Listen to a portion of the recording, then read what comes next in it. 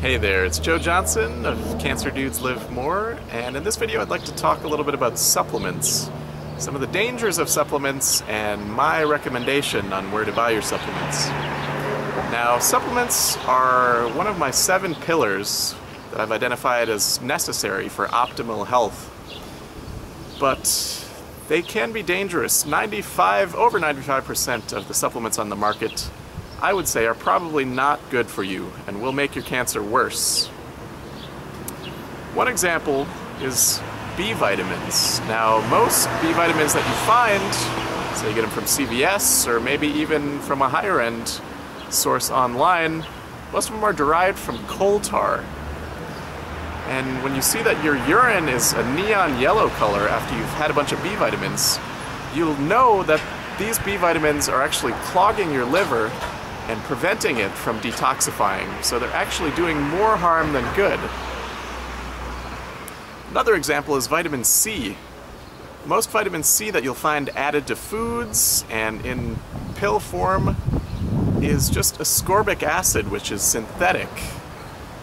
And now, ascorbic acid doesn't actually cure scurvy. True vitamin C, with all of the bioflavonoids and cofactors and synergists, that can actually cure scurvy, but synthetic ascorbic acid is not giving you many benefits. My third supplement that I'd like to talk about is vitamin D. Most vitamin D that you'll find on the market is derived from sheep's wool with a harsh chemical solvent. And it's really not something you want to be putting into your body. You want, for all of these vitamins, you want them to be from a live source.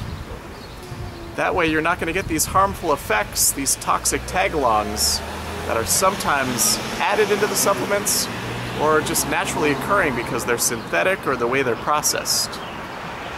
This is why you get you hear so much news about supplements being harmful to people or supplements being dangerous to people in all the studies that are being done. It's because they're not using high quality supplements. Ideally, we could get all of our nutrition just from the foods that we're eating, but since in the past century the soil has been so depleted, there's so many less minerals and antioxidants in the foods nowadays.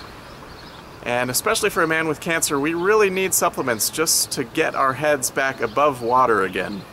So those are a few notes on supplements. Where I use supplements from, and the only thing I recommend to my clients is from a company called Premier Research Labs, prlabs.com. I'll post a link, including with this video, but definitely watch out, and ideally you would go to someone who practices kinesiology or muscle testing to have them test out whether the supplements you're taking are good for you or are actually harming you and making your cancer worse. Thanks for listening, and I hope to see you again soon.